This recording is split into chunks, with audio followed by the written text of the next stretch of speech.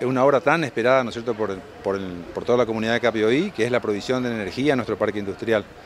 Nuestro parque tiene varios años, eh, hay varias empresas que están instaladas, pero con el cuello de botella de que no pueden ampliarse eh, debido a la falta de energía eléctrica necesaria.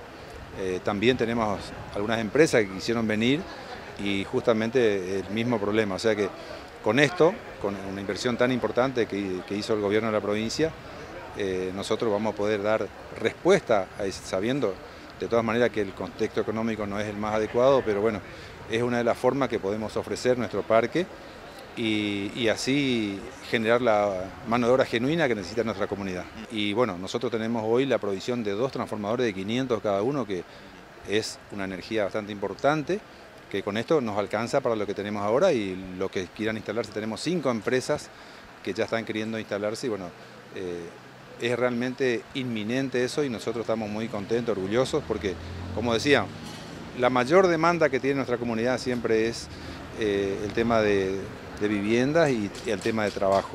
Así que si nosotros con, esto podemos contribuir a que haya más mano de obra en nuestro municipio, sería excelente. ¿Cuál es el rol que cumple en este caso la cooperativa de Luz y Fuerza del departamento? Nosotros estamos trabajando realmente muy bien, somos muy agradecidos a la cooperativa. La cooperativa se va a encargar del mantenimiento de esto, este es el compromiso.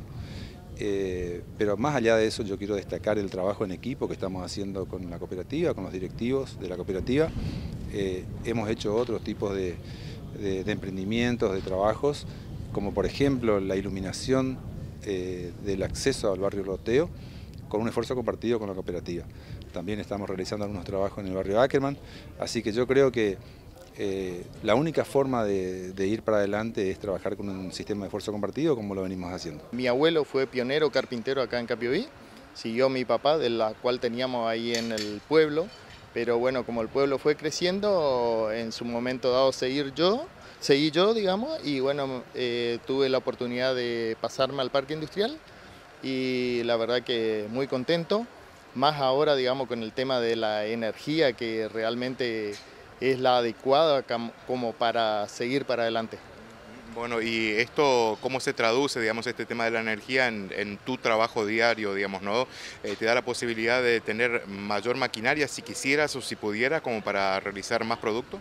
Claro, justamente eso es, digamos, con el tema de la energía, ahora es como que puedo ir ampliando mi empresa, eh, poner más gente a trabajar, digamos, eh, que son, eh, apuntamos acá al pueblo, ¿no es cierto? Y ampliar las maquinarias. ¿Tienen algún tipo de beneficios en cuanto a impuestos, eh, tasas municipales, algo de esto? Claro, justamente el tema de la energía también, tenemos un precio moderado y, y tema de la municipalidad, la verdad que nos dan todo el apoyo que necesitamos es más, todos los días nos están preguntando qué hace falta, que le asesoremos, porque a veces al estar acá uno sabe lo que necesita, ¿no?